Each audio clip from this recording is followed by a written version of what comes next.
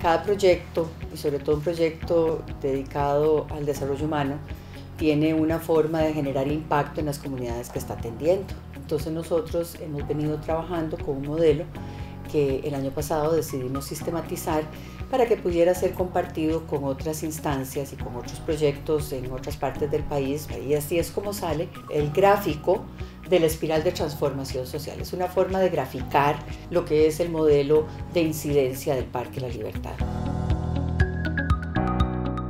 Aquí vienen las personas que están interesadas en aprender, en mejorar su calidad de vida y el parque es un abanico de oportunidades que brinda esa posibilidad. La persona confía en que nosotros podemos realmente ser una parte importante en adquirir ese conocimiento que necesitan.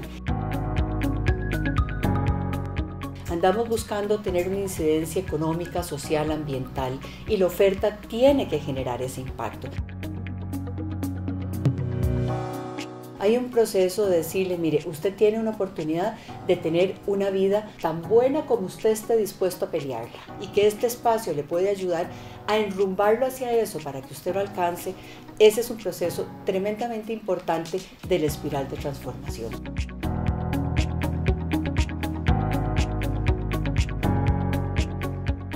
Hay que tener un entorno en donde la gente se sienta cómoda, en donde se sienta bien recibida. Aquí se trabaja con la más alta calidad desde la infraestructura hasta los profesores.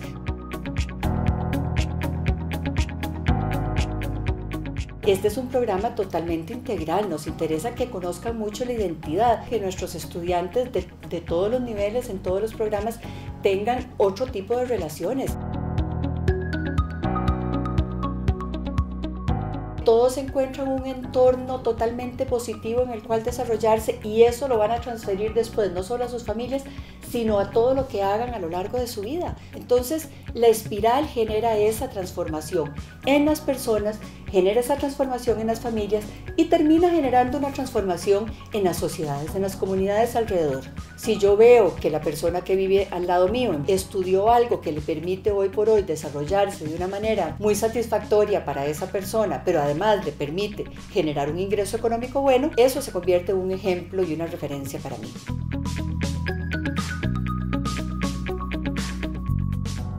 Y si además la persona que está en el empleo está recibiendo un salario digno, competitivo, como están recibiendo los chicos que nosotros preparamos, ese salario regresa a la casa y regresa a la comunidad y se comparte esa riqueza y eso ayuda a generar desarrollo.